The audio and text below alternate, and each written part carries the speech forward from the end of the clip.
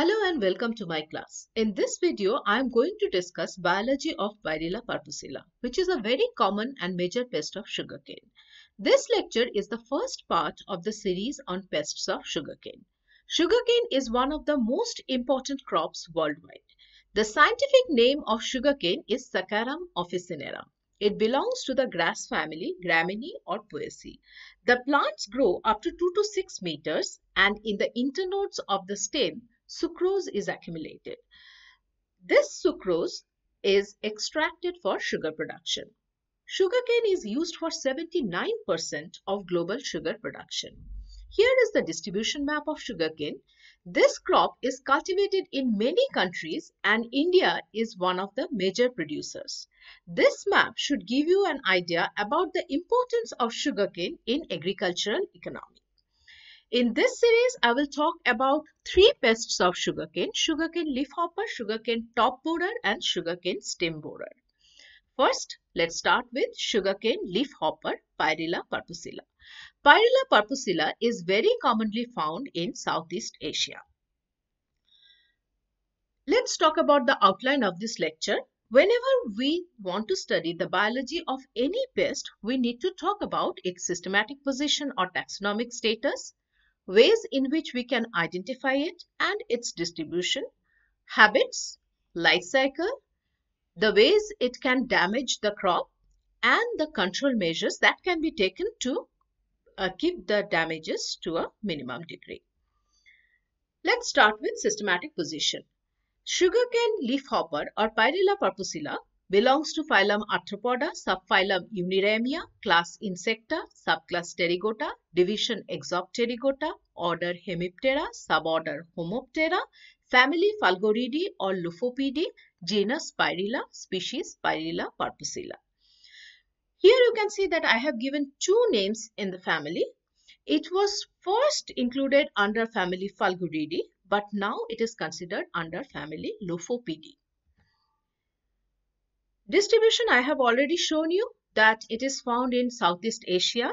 All over India you can find Pyrilla perpusilla. It can also be found in Pakistan, China, Bangladesh, Myanmar, Thailand and other such countries. How to identify Pyrilla perpusilla? It is a very small insect. Its color is pale tawny yellow and it has small minute black dots all over its forewings. The head is prominently drawn forward and it forms a snout or a rostrum. The wingspan varies from 16 to 18 millimeters for males and 19 to 21 millimeters for females. So females are a little bit larger than the males.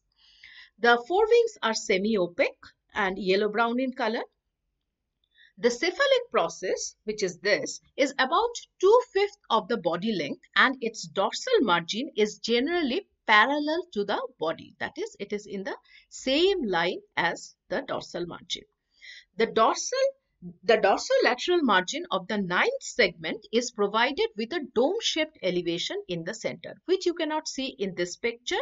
But if you stretch the wings and expose the abdomen, then you would see a dome-shaped elevation in the center of the ninth segment. Life cycle. Any hemipteran insect's life cycle would include these stages, the adult stage, the eggs and the nymphal stage. If we put that scheme into Pyrilla perpusilla's life cycle, then we can see the adult, which we have already discussed. Then we see the eggs here and the nymph. The adult lays the eggs, the female lays the eggs after mating. The eggs hatch into 6 to 15 days the nymph takes 40 to 60 days to become the adult. Now let's talk about each stage in detail. The adult I have already talked about. It has a rostrum or a snout. At the end of the rostrum, it would have the piercing and sucking mouth parts with which it sucks the juice from the plants. Its body color is tawny yellow with minute black dots all over the forewings and it can, it is very soft insect and if you look at its habits, they are found gregariously and jump off readily when disturbed. Gregariously means that they will be found in a group. Adults are active flyers and migrating from one crop to another and breed throughout the year. which here uh, signifies that sugarcane is not the only host for Pyrilla perpusilla. It can also hop to some other uh, crop nearby and it can survive there as well. Okay, let's talk about the eggs. The eggs are light yellowish in color and you will always find them in a cluster. And this cluster will be covered with some hairy material. Okay, and these eggs are laid near the midrib in groups of about 20 eggs or such okay and you would always find these eggs at the lower surface of the leaf when the eggs hatch the nymphs come out. The nymphs are initially greenish and they later turn pale brownish and nymphs will always be wingless because they have the wing buds which develop into the full grown wings into the adult okay?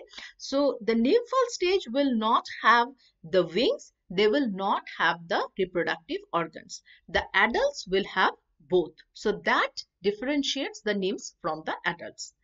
Now here Pyrilla perpusilla's nymphs they have something very special.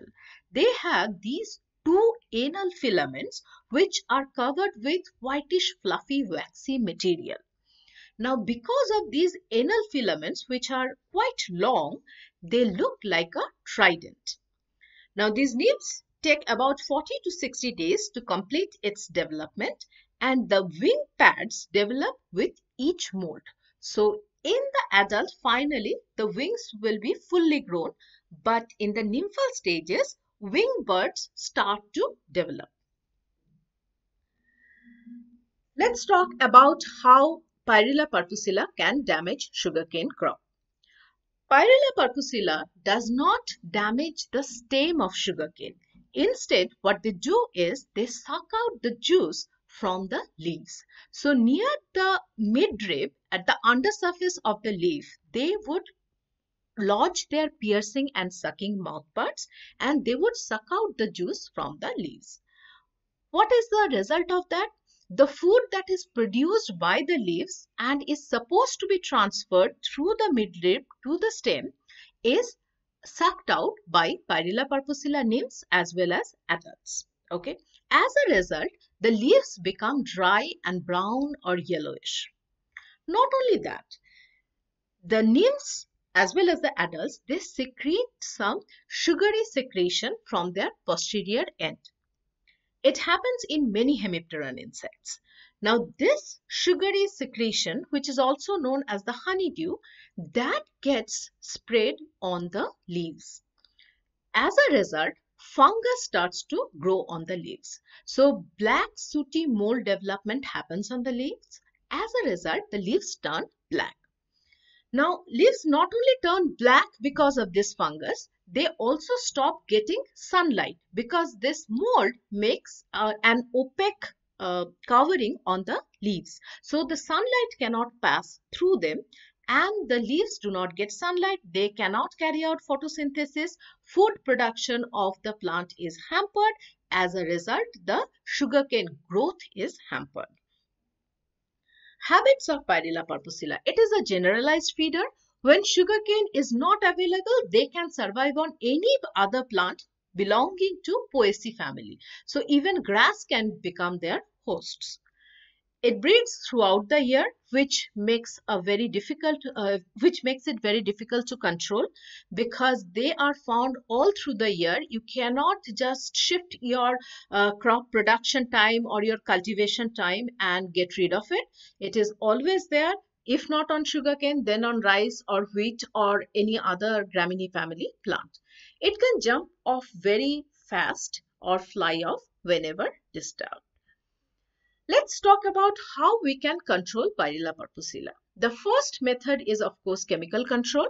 For chemical control, either we can use organophosphate pesticides or we can use organochlorine pesticides. Okay, so parathion, malathion, thiodan or fenitrothion can be used by spraying 0.05% or 10% of aldrin or dieldrin can also be used. Cultural control, sugarcane stubbles and wild grasses can be removed and burnt after harvesting.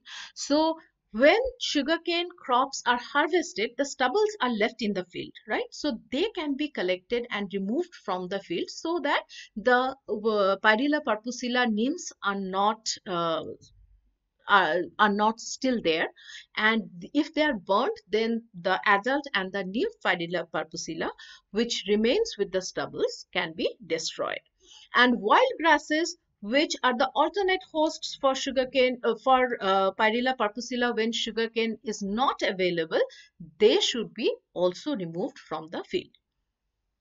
Let's talk about biological control Conservation of the following natural enemies helps in containing the pest. So naturally there are quite a few enemies of Pyrilla perpusilla. There are some egg parasitoids, nymphal parasitoids, egg predators or nymphal or adult predators. So these uh, insects, if they are around, then Pyrilla perpusilla can be kept under check. Okay, so let's recap the whole uh, lecture. For systematic position, Pyrilla perpusilla belongs to order Hemiptera, suborder Homoptera, family Fulgoridae or Lophopidae. Identification, it can be identified by its straw-colored body with black minute dots and a very prominent rostrum. At the end of the rostrum, it would have the piercing and sucking mouth parts. Habits, it's a generalized feeder. It breeds throughout the year and it can hop very easily or fly off very easily. Okay. Life cycle, it will uh, include the egg, nymph and adult life stages. The ways it can damage the crop, the leaves become dry and black with sooty fungus on them. So the leaves cannot produce food and the plant growth hampers and it cannot produce enough sugar in the stem. For control of Pyrilla perpusilla, various chemical and biological control methods are available which can be used to keep this pest under check. Hope you liked this video. Please come back for the second part of this series where I am going to talk about Scirpophaga nivella.